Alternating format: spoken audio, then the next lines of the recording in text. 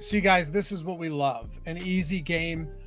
No question marks, no concerns, no injuries, just, you know, straightforward Thursday night football in week seven, which is exactly what this is not. We don't even know if Trevor Lawrence is playing. I'm Dave Locker with OddsShopper, by the way. Happy to have you guys with us. Uh, hit that thumbs up, subscribe if you appreciate this free content. And before we get into anything, I'll say this hit me up on Twitter at Loughy underscore D because Trevor Lawrence is questionable right now. I'm going to be looking for props. If I find them, you know I'll put them there. That's where to find me if we're not here on the YouTubes, L O U G H Y underscore D. But let's get straight into the action because I, am I'll spare you the pleasantries. It's a pretty, pretty straightforward in one sense that nothing is straightforward about this game. Ian Rapoport, Adam Schefter tweeted out earlier today that Trevor Lawrence is going to, you know, work out, the warm him up in, in warm ups and see how it is. And he is probably going to be a legitimate game time decision. That's what's being said right now. Saints are laying two at home in the dome, coming off an ugly loss against Houston. And honestly, if you watch that game, they had every every chance to win that. But Derek Carr, I mean, this guy stinks. You should have stuck with Jameis Winston or Andy Dalton at this point. What difference does it really make? 40 point total here as well. It would be CJ Beathard starting if it's not Trevor Lawrence. The question that we all have to ask ourselves, and this may be an instinctual thing from your guys' perspective, right? Tail these picks, let's do it. If not, I get it, especially on a day like today. But I do have some props that I like a lot too, so we'll get into that. But here's what I mean by that, right? If you think that Trevor Lawrence is going to play, all right, that's one piece of the puzzle. If you think that Trevor Lawrence is going to play, you also have to try to navigate whether or not he's going to be healthy enough or not, right? Like, this is a guy that he's no Lamar Jackson or Jalen Hurts on the ground, but he is mobile enough, right? He is mobile enough to be a threat. We've seen it. He's got 20 plus rushing yards, and I think all but one game he can pick up uh, yards when he needs to on the ground. You got a knee sprain that happened on Sunday, right? They spent two weeks in London, got both wins, came back, took care of a Colts team that was with Gardner Minshew, who turned into a pumpkin again uh, and had a depleted secondary for the Colts. And now you've got this where you could be out two starting offensive linemen for the Jags. Trevor Lawrence could or may or may not play. And if he does play, he may not be 100%.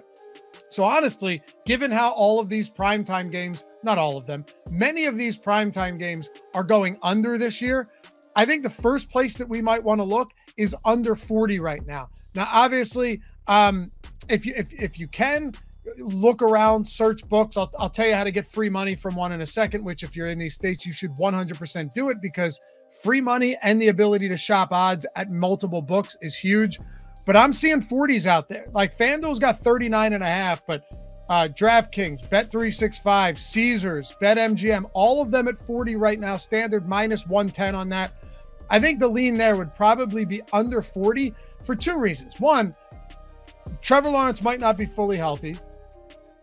If he is, the Saints defense is still absurdly good. Two, Trevor Lawrence might not play. And then three, the Saints offense hasn't been good either. I mean, Derek Carr has been bad. Alvin Kamara is getting a ton of volume, which is cool. If you want to bet some over props on volume, you could do that. But here's another wrinkle, guys. Jamaal Williams is expected to play today, and they brought him in. Um, they brought him in so he could just be, you know, the next Mark Ingram. That's a tough spot. So the under looks good here. But another thing, too, the Saints on totals this year are 0 and 6 to the over. So all six games have gone under for the Saints under 42, 39, 41 and a half, 41 and a half, under 40, under 41. We're not talking under 50s here. We're talking the highest total they've had is 42. They've gone under a 39, under a 40, under a 41, two 41s and a half, 41 and a half, you know? Jags are three and three on the total. Now, you look at it, it makes sense though uh, the Saints don't score a lot of points. They can't uh, unless you're facing the the the, the Patriots, and they still went under because they held them to zero.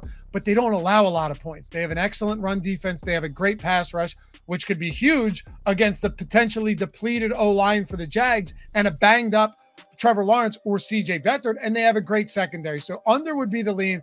And if you're going sides, you, you have to lean the Saints minus two at this point. It's going to fluctuate. This could get even bigger if Trevor Lawrence is out, and it likely will. But right now, the under 40 seems like the best spot with all of the uncertainty that we have. Now, let's get into some props. All right. As I mentioned uh, on Twitter, Loughy underscore D, you can follow me. I'll throw props out there today. I think we'll have more. The two spots I want to look at here's the two spots. And guys, I can't stress to you enough. If you're in these six states, if you're not, feel free to fast forward to the props. If you're in these six states, please listen to me because it's going to change the way you bet and it's going to turn tonight into a winning night, even if you lose. And what a shitty night for a lot of bets with all of the uncertainty. If you're in Colorado, Virginia, New Jersey, Iowa, Ohio, or Kentucky, you're getting $150 when you bet five bucks on Bet365. It's that simple. If you're in Kentucky, you're getting $365 when you bet $1. Here's what you do it's going to take you two minutes. Hell, you could be sitting down on the can, scrolling through mindless Instagram posts, or you could be making money. Make time, make make money out of anything you're doing, even if it's something you thought was impossible. Go and use the link in the description or the one in chat, right? Click that or in the pin comment. Click that. It takes you two minutes. You're going to sign up, deposit, verify yourself. Two minute process. Put down a $5 bet on a $10 deposit. You only have to bet five bucks on a $10 deposit. If you're in Kentucky, bet $1 on a $10 deposit. If you're in Colorado, New Jersey, Virginia, Ohio, or Iowa, you're making 150 bucks in two minutes. In two minutes. 75 bucks a minute. If you're in Kentucky, you're making 365 bucks on a $1 bet. It's the easiest money you're going to find. And besides that, they want to give you free money to get you over there, especially Bet365. They're new to the states, coming to three more states soon. So be aware if you're one of them. Um, but also, now you can find props and touchdown props, and you can find odds that are better for you instead of just betting at one book. So you're getting free money. You can win today, whether you win or lose.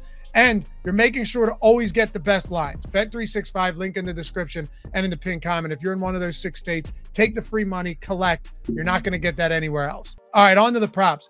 I've got two. One, Travis Etienne over 16 and a half rushing attempts. Why? Two reasons. The Saints offense is not very good. They're going to provide, even though they have a good run defense, I think they're going to provide opponents with the ability to not get crazy, unless you're the Patriots, not get crazy and try to keep a balanced offense. If that's the point, if that's what we see here, who better than Travis Etienne, who has more touches than any running back in the league all season long? Yes, Travis Etienne has more touches than any running back in the league. He's playing 80 plus percent of snaps every week. Tanks Bigsby is an afterthought at this point. Now, again, when I say shop odds, rushing attempts prop on Bet365 is 16 and a half. On DraftKings, it's 16 and a half. In other books, it's 17 and a half. That one rushing prop, that one that one rush is huge, guys. Is huge. You could finish with 17 and lose, or you could finish with 17 rushing attempts and win. That is one. The next one is going to be Tank Bigsby under 11 and a half rushing yards. They just haven't used him a lot at all.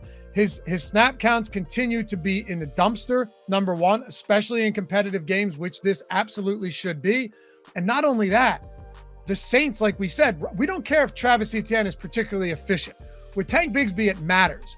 With Tank Bigsby going up against these defensive line and this defense that's allowing less than four yards per attempt, and also a guy in Tank Bigsby who, in the opportunities he is getting, few and far between, has been super inefficient with them. Three attempts, two yards, three attempts, eight yards, three attempts, 10 yards, two attempts, 10 yards, seven attempts for 13 yards is his best rushing performance, raw totals since week one. He hasn't gone over 10 yards or three attempts since week one. Give me Tank Bigsby under 11 and a half rushing yards. And uh, if we were to throw out a random touchdown prop, there's nothing great, but I would say Michael Thomas at plus 240. He essentially, since Alvin Kamara returned, has the same target share as Chris Olave. This team just stinks in the red zone. So that's the only concern. I would love to go Evan Engram. I would love to go Evan Engram here at plus 300 because he is essentially matching Christian Kirk and Calvin Ridley in target share this season and has eight plus targets or seven plus targets in all but one game. But it might be CJ Beathard, and I don't want to just give you guys garbage if I if I don't have any conviction in it. So that's where we stand. Appreciate you guys hanging out. We'll see you back here for Monday Night Football. My picks for every game video is already on the channel. Good luck tonight. Enjoy this disaster. We wouldn't be watching it if we weren't betting or a Jags or Saints fan. So I'll see you guys back here for the next one. Peace.